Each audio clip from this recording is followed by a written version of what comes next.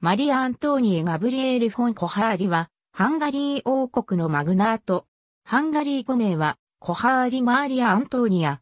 ハンガリー貴族コハーリ・フェレンツ・ヨージェフと、その妻マリア・アントニア・ツー・バルトシュタインの娘として、ブダで生まれた。兄が夭折していたことから、幼くして、コハーリ家の女子相続人となった。1815年11月、ザクセンコーブルクイコールザールフェルト公、フランツの次男フェルディナントと結婚した。フェルディナントとの地位の釣り合いを取るため、フェレンツはオーストリア皇帝フランツ一世からコハーリド・チャーブラーグエシトニャ公の称号を授かり、マリア・アントーニエも皇女と呼ばれるようになった。